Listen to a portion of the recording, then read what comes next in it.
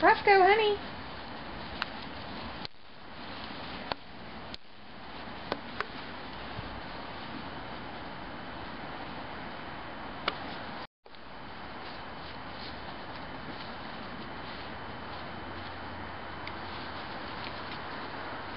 They're keeping their back to us.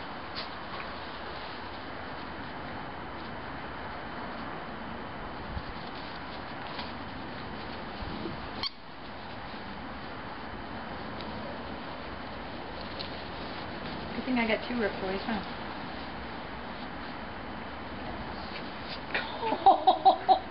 The takedown.